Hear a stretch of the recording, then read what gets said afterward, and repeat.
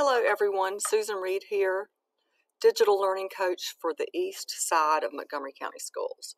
So I want to share with you today a screencast tool that you can use similar to Screencast-O-Matic or Screencastify, and it's called Loom. And loom.com is free for educators. So when you go to loom.com, you'll see it and it says get Loom for free.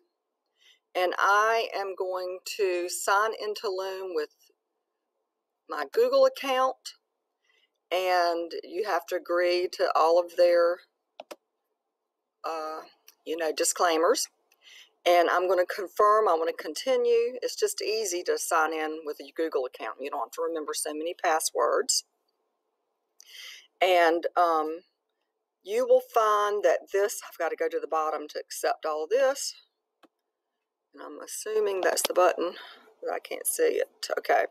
And um, then you will have all the options of using this great screen and video recorder.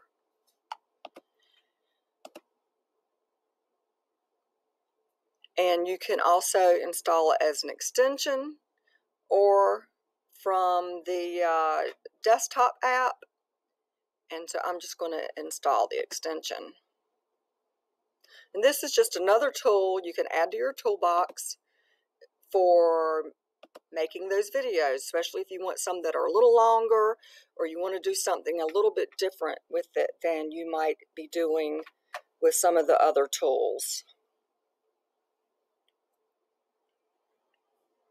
So it's opening up now. Well, I thought it was. Let's see.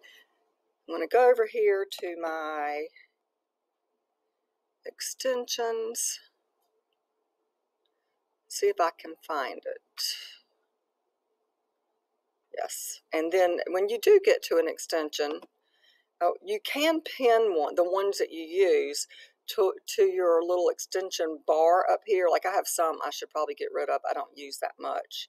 Um, but I'm going to find Loom. There it is. Open it, and if I click the little pin, it would be there all the time without me going to the puzzle piece. And you just go through it and allow and play around with it. And um, I've had some teachers say they really like it.